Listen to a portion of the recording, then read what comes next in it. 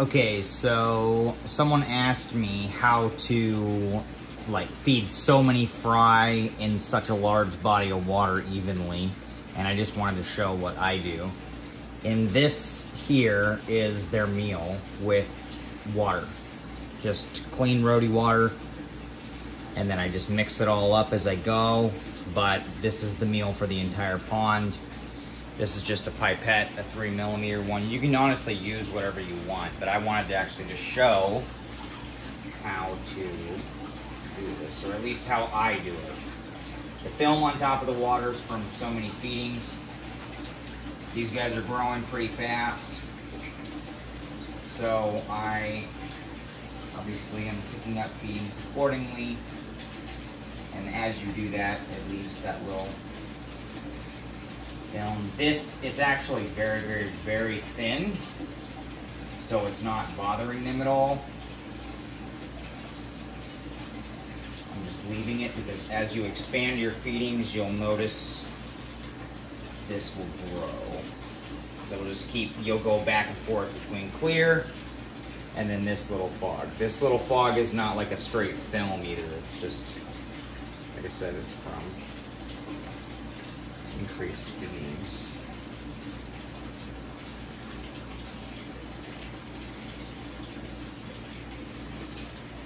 There is still almost 100% success in this pond, by the way, and by that I mean it's usually, you know, pretty, it, it's common to lose some during the first little while. Out of the about 3,000 that were added to this, I have noticed less than 100 are dead. Everyone else is doing just fine. So, probably here in a week, I will start adding a little bit more water and I'll start increasing this. I'll keep you guys updated on this pond. I've done this process many, many, many times before, but I never actually put it on video, so I'm gonna start doing that for you guys. But um, yeah, so this is an eight foot by four foot pond. Um, these are 11 and a half inches tall. right now, there's only like three and a half inches, four inches of water in here. Like I said, starting in about in about a week, I'll watch, you know, sizes, what they're doing, how active and everything, and then I'll raise it about an inch every week. And that's pretty much it. No water changes, no nothing else. I'm not messing with the bottom of it. And yeah, I know you guys can't see from this angle, but this is literally just slammed, slammed with fry. Like, incredible amount. Um, calculated it up, and it's about a 97% um, survival at this point of the entire spawns. So, yeah.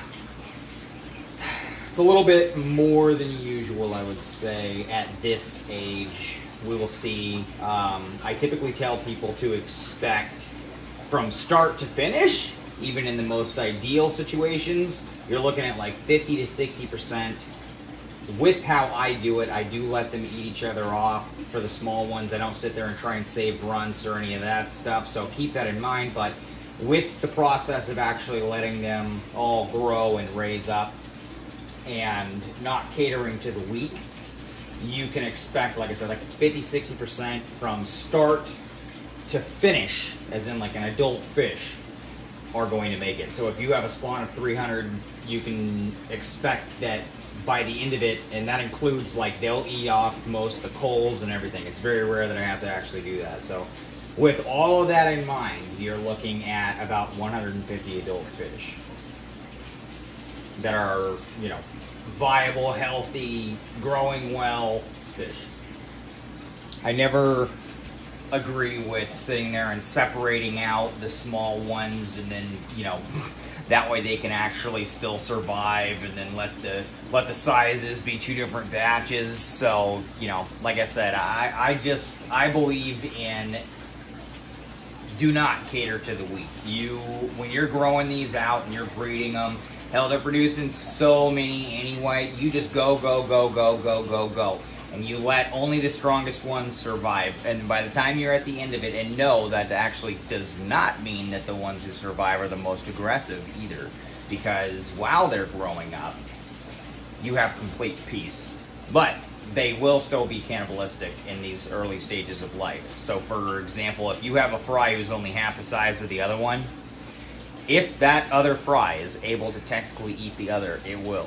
So, um, if you do too many hiding places and stuff like that as well, then what you end up doing is you're basically hindering your fry's ability to find the food easily. And in these early stages, they really, really, really need to be able to find their food very easily because they don't, they're not, you know, they're not very good equipped hunters at this age. But, anyways, I just wanted to make this video, show you guys how I did that and how I do do it and why, you know, with with you adding the extra water too and then stirring it all up, it gives you the ability to you know spray it all over the place and not be spraying straight food. So it's diluted enough that it gives a nice even feeding everywhere rather than big clumps of food or too much food too.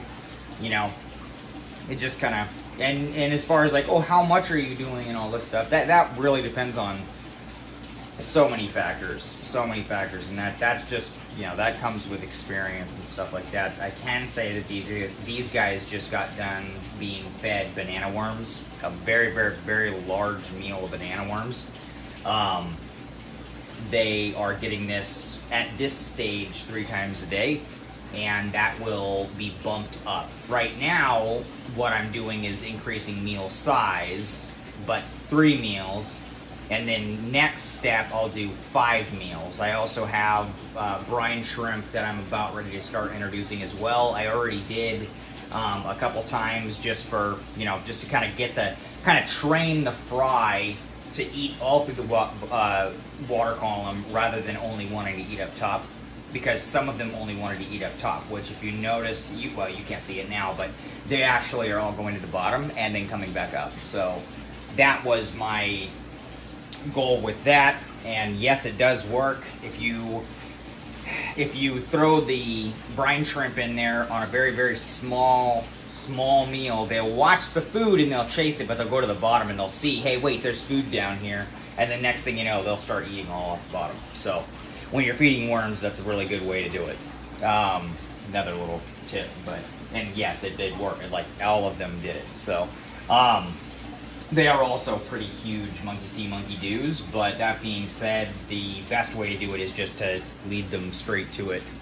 Um, but between that, you get 100% just success, It's such smooth sailing this way. Um, I hope you guys find this video useful, and also to the person who asked this question, thank you because it gave me some video content to make. But um, yeah, I hope you guys have a good day.